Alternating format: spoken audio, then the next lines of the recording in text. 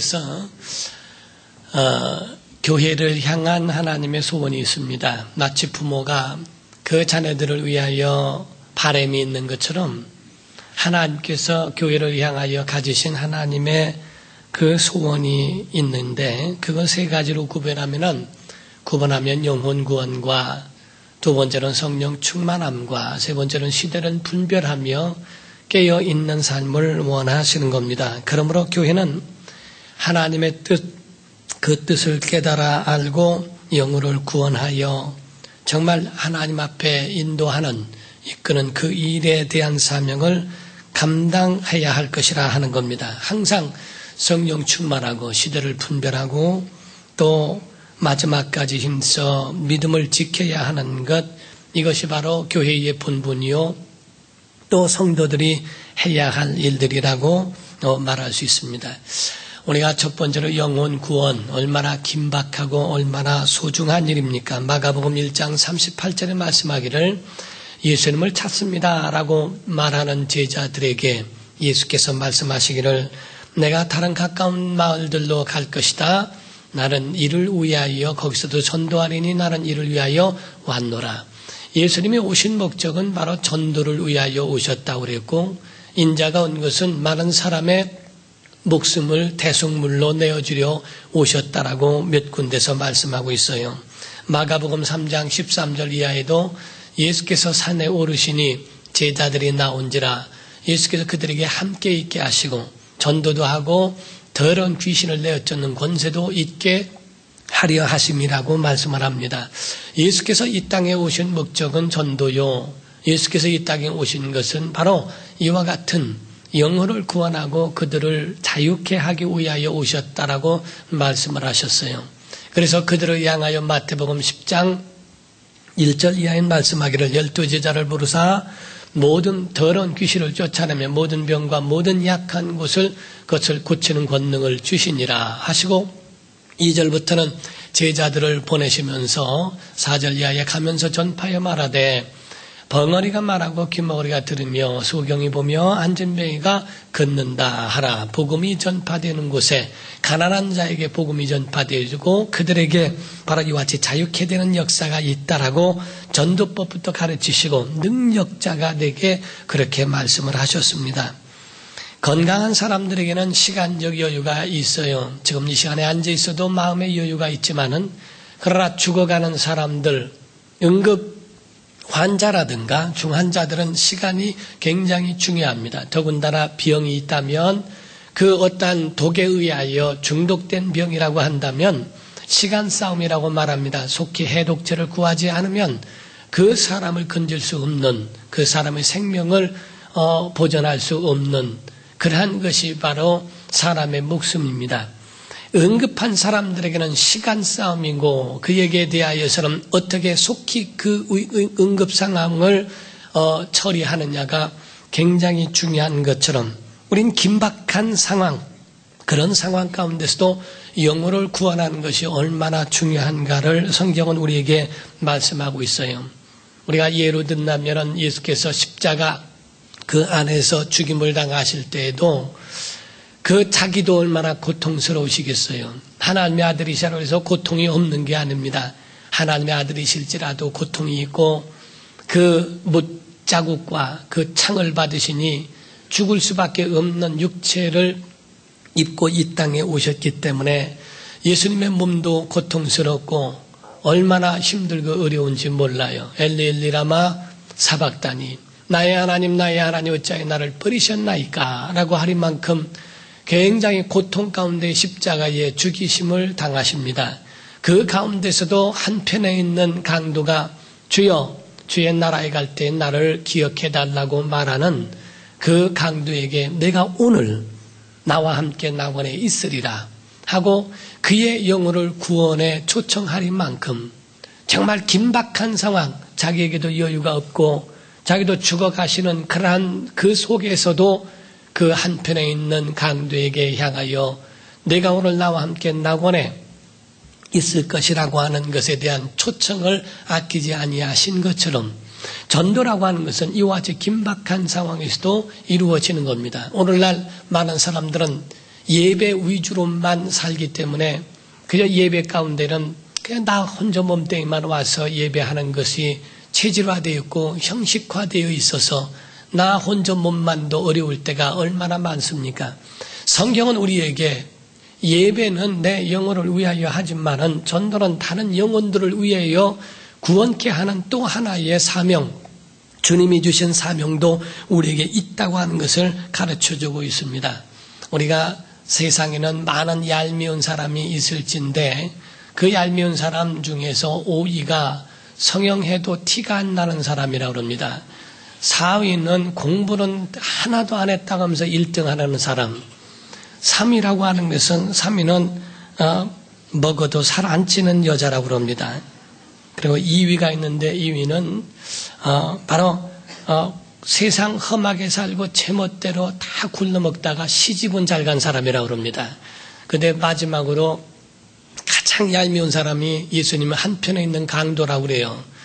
지멋대로 다 살다가 마지막에 말 한마디로 구원받았다는 게 얼마나 행운이기도 하지만 얄밉다는 거예요. 근데 어쨌든 간에 얄밉든 행운이든 간에 그 긴박한 상황에서도 구원을 받아야 하는 그러한 그 상황에 예수께서도 주저하지 아니하셨다는 겁니다. 미국의 필립 브룩스 목사라는 분이 있는데 그분이 임종을 앞두고 죽음을 앞에 두고 있었을 때였습니다. 그런 내가 죽을 때에 그 앞에서 전혀 앞에 누가 오지 않도록 해라. 그래서 면회를 사절을 했다고 그래요.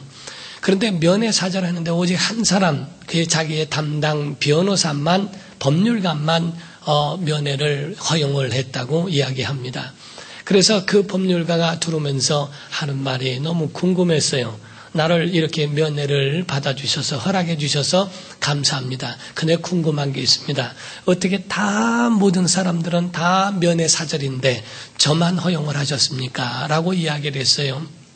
그때 그 브룩스 목사님을 말씀하기를 다른 사람들은 내가 인사하지 않아도 천국에서 만날 것이지만은 자네는 천국에서 만날 수가 없기 때문에 만나고자 한 것이네. 마지막까지도 그 목사님은 그 사람에게 전도를 어, 했다는 겁니다. 바로 내가 다른 사람들은 믿음을 갖고 있기 때문에 천국에서 만나는 것이 허용되지만은 자네는 예수 그리스도를 믿지 아니하지 않는가?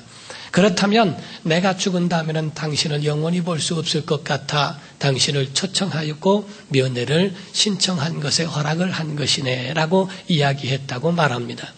이와 같이 우리의 삶 속에서 마지막까지도 전도를 아끼지 아니하고 내 한 몸만 추스르는 것이 아니라 다른 영혼, 그들의 영혼까지도 구원케 하는 것, 이것이 바로 성도의 사명이요, 교회의 사명이라는 것을 이야기하는 겁니다. 고재봉이라고 하는 사람이 있습니다. 1961년도에 일가족을 다 죽여버린 사람입니다.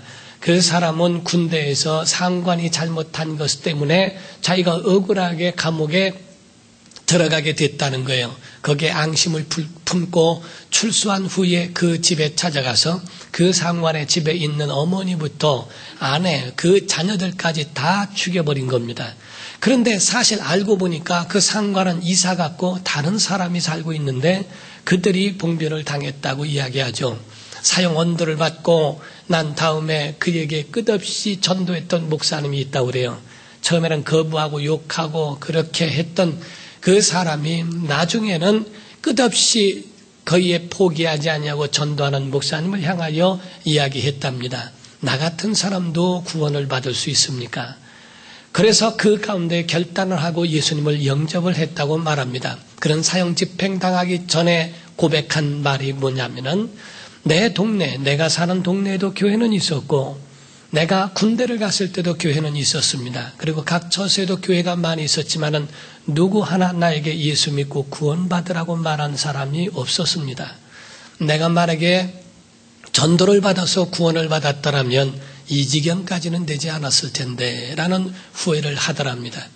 곧 전도하지 않은 것에 대한 영혼 구원에 대하여 긴박성을 갖지 아니한 바로 믿지 믿는 믿음의 사람들을 향한 하나님의 음성일지도 모릅니다. 두 번째로 우리에게 말씀하신 것은 성령 충만입니다. 여러분, 정말 영혼 구원이 사명인 줄 알고 여러분 긴박한 상황에도 영혼을 구원케 하는 일에 함께하는 성도가 되시기를 주 이름으로 축원합니다. 두 번째 성령 충만의 삶을 살기를 주 이름으로 축원합니다. 성령 충만의 사람은 그 속에 엔진이 들어 있다고 보시면 돼요. 대부분의 사람들은 교회를 정적으로 생각을 합니다. 사면, 사변적으로 생각해서 교회 와서 예배를 해도 전혀 나는 꿈쩍도 하지 아니하고 찬양을 해도 속에서 나오고 속에서부터 그냥 어 그냥 음, 앞에서 말하듯 그냥 해버리고 10년 가운데서 들려오는 진정한 믿음의 고백이 나오지 않는 건 그 속에 엔진이 없어서 그래요. 성령의 사람, 성령 충만한 사람은 속에서부터 터져 나오는 깊은 샘에 터진 복이 있습니다. 바로 율법적으로 사는 사람이 있어요. 율법이기에 하나님 말씀이기에 지켜야 하고 주일이니까 지켜야 하지. 주일이니까 하나님 앞에 나와 예배하는 것이고 그러나 교회 예배 참여하는 것으로 그것으로 끝내고 그것으로 만족해 하는 사람들도 많습니다. 그래서 다른 사람이 찬양을 하고 다른 사람 설교하고 하는 가운데에 다른 사람들과 같이 가만히 묵상만 하고 돌아가면 내 할 일이 끝났다라고 오게 하는 사람들이 많습니다. 성경은 우리에게 말씀합니다. 예수께서 승천하시기 전에 유언같이 뭐라고 말씀하십니까? 너희는 예루살렘을 떠나지 말고 약속한 바 성령을 기다려라. 성령을 받기까지는 결단코 너희가 여기를 떠나지 마라. 예루살렘을 떠나지 말라고 되어 있습니다. 내 속에 엔진이 들어있어야 한다는 겁니다. 그래서 도망자의 신세였던 제자들이 성령 받은 다음에 엔진이 들어갔어요. 죽음을 두려워하지 않습니다. 순교할 각오를 합니다. 우리가 엔진이 들어간 다음에는 그 큰 자동차 같은 그런 어, 쇳덩어리도 엔진이 움직여주지 않습니까? 이와 같이 우리 속에 억지로 끌려다니는 율법적 영적 생활은 엔진이 없어서 그렇고 엔진이 고장나서 그렇습니다. 엔진이 고침을 받기 위해서는 카센터로 가야 되는 것처럼 영혼이 고장난 것은 교회 와야 고침을 받을 수 있고 여기 와야 하나님의 은혜를 받아 다시 그 엔진이 살아날 수 있어요. 성령 충만함이 회복되기를 주름으로 축원합니다. 마지막 때까지 우리에게 말씀하시고 우리에게 권하시는 말씀은 성령으로 충만하라.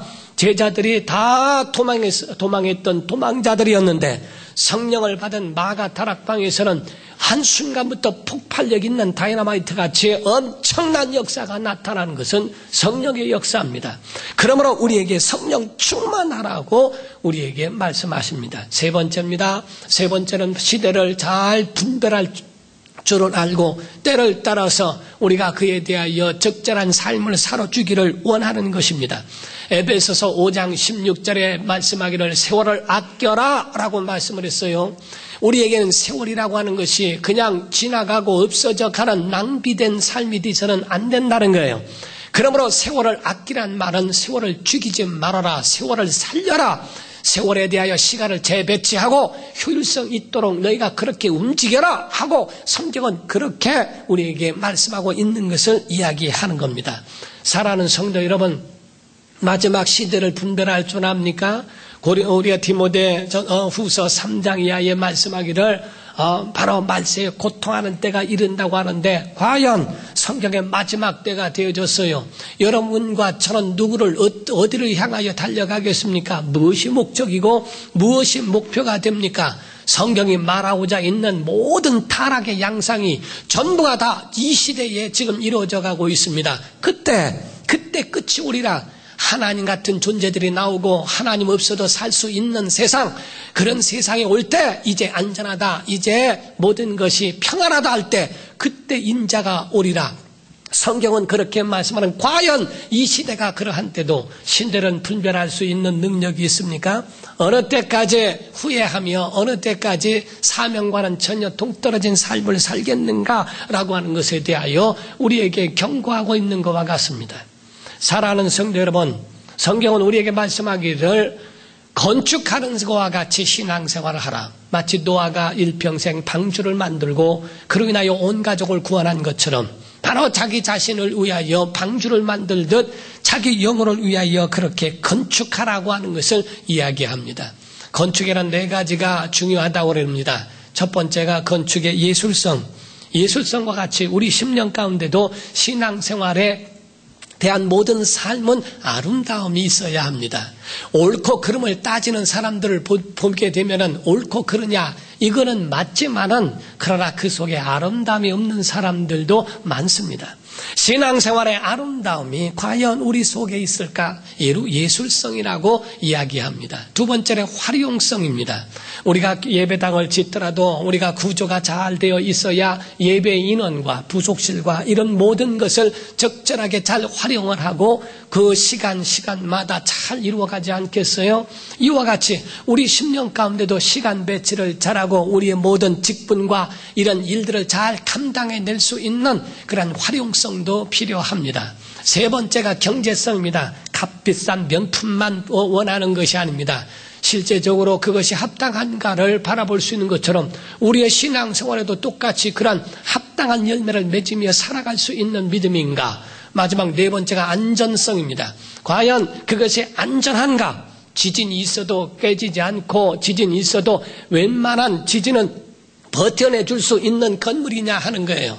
오늘날 신앙도 얼마나 넘어지고 쓰러지고 좌절되고 그러한 모든 삶 속에 하나님과 관계없는 삶으로 그냥 한순간에 변덕 끌듯 그렇게 움직이는 사람이 얼마나 많이 있습니까? 지금까지 세월은 모든 공든탑 믿음의 삶을 어느 한 것 때문에 한순간에 지진이나 한 번 움직이면 다 와장창 무너져 버린다 이게요. 어느 나라에서는 지진이 그렇게 강도가 높지 않은데도 그 자, 작은 지진에 의하여 아주 완전히 사람들이 어마어마한 사람들이 죽은 이유에 대하여 분석해 보니까 거기에 천근이 없더라는 거예요. 세면만 갖다가 벽돌 올리도 올렸으니까 한순간에 지진이 일어날 때에 흙더미에 쌓이듯 완전히 다 그 속에 깨져버리는 것. 그런 사람들이 그런 어, 그 건축에 대하여 어, 거기에 대해서 이야기하는 것을 비난하는 것을 보았습니다. 마치 우리가 콘크리트를 보게 되면 그 안에 철근이 들어 있어요. 철근 때문에 무너지더라도 그 새에 사람들이 낄 수 있고 피할 수 있는 공간이 생기지만은 그러나 철근을 빼먹고 철근이 없는 벽돌만 싸가지고는 완전히 무너져 버린다는 겁니다. 우리의 신앙의 기초가 어디 있냐는 거예요. 작은 어떠한 어려움과 작은 시험이 오더라도 왕창 모든 믿음이 무너져 버리는 조금만 기도의 응답이 어, 늦어져도 하나님 있네 없네 뭐하네 어쩌네 저쩌네 그 속에 가졌던 영적 체험은 다 어디로 간 겁니까? 우리의 신앙은 이와 같이 바로 우리 심령 가운데의 성품이 변덕 끌듯 끌지 아니하고 믿음은 끝까지 지속할 수 있는 그러한 믿음의 기초를 단단하게 세우는 것이 중요하지 아니한가? 우리가 보면 알렉, 알렉산드리아라고 하는 곳에 보면은 어, 바로 이 그 가운데 등대가 아주 유명한 파로스라고 하는 등대가 있다고 이야기합니다. 파로스라고 하는 등대가 그게 3천년 전에 지어진 것인데 그 높이가 200m라는 거예요.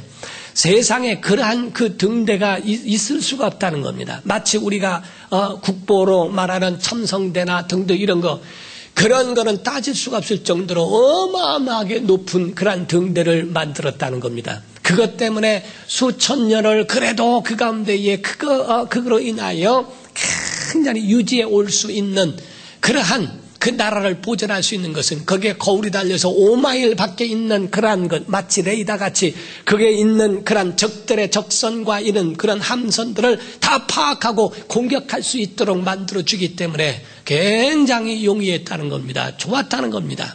그런데 그것 때문에 쳐들어와도 이길 수 없는 그런 상황이 있는데, 근데 한 번은 소문이 듣기 시작하는 거예요. 소문이 나오는데, 계속 그 등대 밑에 금은 보화가 묻혀 있다라는 소문이 들리는 겁니다. 등대 밑에는 항상 금은 보화가 있다고 하는 그 얘기에 대하여 그럴듯한 말을 계속해서 흘리고 소문을 내기 시작했습니다. 그때의 그 소리를 듣고 그 유혹을 이기지 못한 칼리포 황제가 있었는데 나중에는 그 유혹을 이기지 못하여 그거를 완전히 쳐버려라 해서 그 등대를 쓰러뜨리고 보았더니 금은 보아는 아무것도 없었던 겁니다. 그거를 다시 세울 기술이 없어요. 그거를 다시 세울 만한 그러한 기술과 능력과 이 모든 것은 아무것도 없는 겁니다. 결국에는 침략해 들어와 다 점령을 당하고 맙니다. 그건 적이 파스파에 의하여 그 소문을 뻗들여 넘어뜨리게 하고자 하는 바로 그 적에 대한 그 술수였고 전략이었습니다. 사랑하는 성도 여러분, 우리 10년 가운데 어떻습니까? 정말 내 영혼의 신앙의 기초가 어떻게 되어 있습니까? 무엇으로 기초를 삼느냐 하는 겁니다. 오늘 본문 말씀에 보면 여인이 소리친 이야기가 나와요. 그 가운데 그 여인이 예수님의 말씀이 얼마나 크고 얼마나 훌륭하던지 27절에 이 말씀을 하실 때 무리 중에서 한 여자가 음성을 높여 이르되 당신을 뵌 태와 당신을 먹인 저지 복이 있나이다 하고 소리 지릅니다. 그러나 예수께서 맞다라고 인정을 하심이 아니라 28절에 예수께서 이르시되 오히려 하나님의 말씀을 듣고 지키는 자가 복이 있느니라 하시니라. 하나님의 말씀이 기초가 되시기를 주름으로 축원합니다. 넘어지고 쓰러지는 건 말씀이 없어 그렇다는 거예요.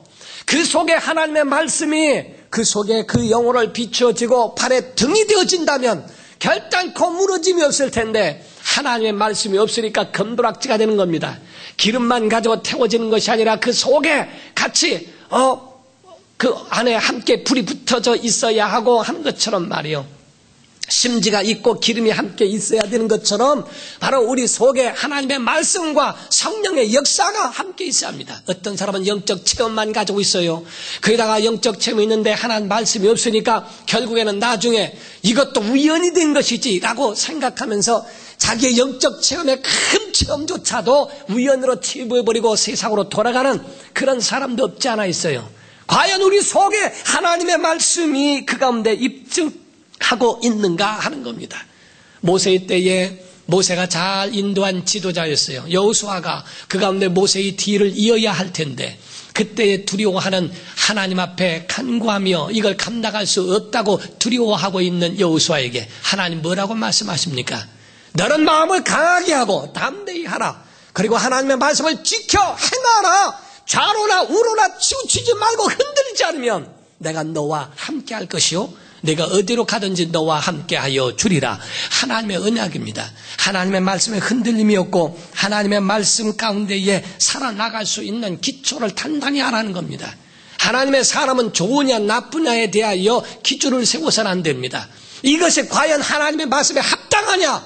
이것이 과연 하나님께서 원하시는 것인가에 대하여 그것으로 판단해야 하는 것이라는 거예요. 세상에는 많은 책들 다 있습니다. 하버드 대학에도 옥스퍼드 대학에도 어, 미국의 국회 아, 도서관에도 엄청 수백만 권의 책들이 있다고 이야기합니다. 다 사람의 지식이요, 사람의 경험들이요, 사람의 머리에서 나온 거예요. 성경은 하나님의 말씀입니다. 성경은 하나님이 우리에게 주신 생명의 책인 줄 믿습니다. 신명기 4장 30절 이하에 말씀하기를 하나님께서 말씀하십니다. 아니, 신이 말한 책이 있더냐? 이와 같이 천지를 만든 신이 말한 이 말이 어, 어디 있더냐? 너희 같이 너희 같이 하나님의 은혜의 말씀을 들은 자들이 어디 있느냐라고 그렇게 하리만큼 하나님의 말씀을 전한 것이 율법이요 성경입니다. 복 있는 자가 누굽니까? 시편 1편 1절에 복 있는 사람은 악인의 길을 쫓지 않냐며 바로 여호와의 율법을 즐거워할 줄 알고 그 율법을 주야로 묵상하는 자가 복이 있다라고 말씀을 했어요. 누가복음 5장에도 하나님 말씀을 순종합니다. 그 말씀을 순종하여 그물에 어, 그물을 내리라라고 말씀을 하죠. 먼저 주님이 말씀하시고 그 말씀으로 영혼을 채운 자들에게 은혜 베풀어 주십니다. 하나님의 말씀이 없는 자들은 마치 바람에 밀려 요동하는 바다 물결과 같고 또한 바람에 날리는 겨와 같다고 성경은 우리에게 말씀하고 있어요. 롯의 사위와 같이 하나님 말씀을 농담으로 여기겠는가? 아니면 사울왕 같이 하나님 말씀을 믿지 않겠는가 하는 겁니다. 초대교회 성도들은 성도의 사도들의 가르침을 받았다고 되어 있습니다. 요한 3서 3절 4절 이하에는 뭐라고 이야기합니까? 사랑하는 자여 내 영혼이 잘됨 같이 내가 범사에 잘되고 강건하기를 내가 간과하노라 2절에 말씀했지만 3절 이하는 내 모든 형제들이 진리의 말씀 안에서 거하여 산다는 것처럼 내 그 소리를 듣는 것 같이 기쁜 일은 없다고 3절 4절에 말씀합니다. 진리의 말씀 안에서 사는 것에 대하여 하나님이 얼마나 기뻐하시는가. 에베소서 6장 10, 17절에 어, 보면 성령의 검, 곧 하나님의 말씀, 그 말씀을 가지라고 이렇게 되어 있죠. 요동치 말이야 합니다. 여러분 흔들리지 말이야 합니다. 말씀 위에 서시기를 주름으로 축원합니다. 누구 때문에 넘어질 이유가 없습니다. 누구 때문에 자기 영혼을 파괴할 필요 없습니다. 다 연달을 거친 후에 하나님이 은혜 주실 줄 믿습니다. 연말 연시가 되면은 사람들이 점쟁이 찾아다녀요. 자기 운세를 묻습니다. 앞으로는 어떻게 되는가? 토정 비결을 보고 뭐 합니다. 어? 어떤 분이 토정 비결을 봤더니 북망산 위에 떼집을 짓고 이랬어요. 북망산 위에 떼집이란 말은 산소를 이야기합니다. 그러니까 죽을 운이라는 거예요. 떼집을 짓고 라고 하는 그 구절을 보고 얼마나 낙심을 하고 1년 내내 죽는다고 했는데 죽지 않았습니다. 그것 때문에 마음이 그냥 힘들어가지고 그분이 우리 아버지였습니다. 그래서 저는 그 아버지가 그렇게 어렸을 적에 있으니까 아버지가 하시는 말씀을 듣고 나는 1년 내내 아버지 위해서 기도했습니다. 그리고 아침에 일어난 후 아버지가 숨을 쉬나 안 쉬나 봤어요.